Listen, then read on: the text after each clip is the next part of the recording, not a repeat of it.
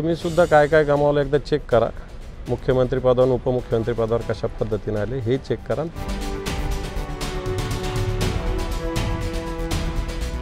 तुम्हाला सरकारकडून रिस्पॉन्स मिळतोय का सरकार हे बोलाचीच कढी आणि बोलाचंच भात अशा प्रकारचं हे सरकार आहे. मदताची करोडीची कोट्यवधीची अब्जावधीची घोषणा हे सरकार करतं. परंतु शेतकऱ्याच्या खात्यामध्ये एक रुपयासुद्धा अजून मिळत नाही. आणि हे सरकार काही शेतकऱ्यांचं नाही आहे हे सरकार धनदांडग्यांचं आहे गुजरातला मदत करणाऱ्यांचं आहे.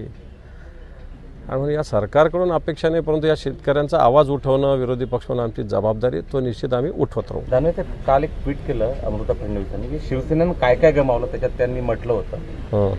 वारंवार ट्विट येतात शिवसेनेबद्दल तुमच्या पक्षप्रमुखांबद्दल. त्यांच्या ट्विटबद्दल काय तुम्ही सुद्धा काय काय गमावलं एकदा चेक करा. मुख्यमंत्री पदावर उपमुख्यमंत्री पदावर कशा पद्धतीने आले हे चेक करा आणि तुम्ही तुमचं बघा आम्ही आमचं बघू एवढं सांगतो.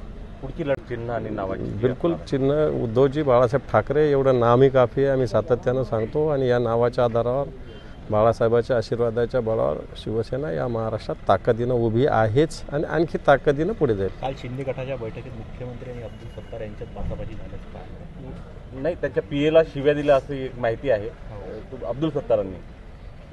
आता फक्त त्यांनी पी एला शिव्या दिल्या एवढंच सांगतो मी. सर निवडणूक आयोग नाही त्यांनी शिव्या दिल्या आणि त्याच्याबद्दल नंतर मुख्यमंत्र्यांनी झापलं. तर एकंदरीत अब्दुल सत्तारांना तुम्ही जवळून ओळखता तुमच्या जिल्ह्यातल्या आहेत. काय सांगाल? वाटतं अब्दुल सत्तार ही एक अ, विकृती आहे. ती कुठेही जाईल तर ती अशीच वागणार आहे. सर निवडणूक निवडणूक आयोगाविरुद्ध आपण उच्च न्यायालयात दाव घेतली काय सांगा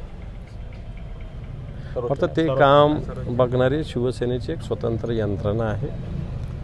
आणि निश्चित शिवसेना जर अन्याय आमच्यावर झालेला असेल तर त्याच्याविषयी दाद मागेल आणि निश्चित आम्हाला न्यायसुद्धा मिळेल. जिल्ह्याच्या कुपोषणाबाबत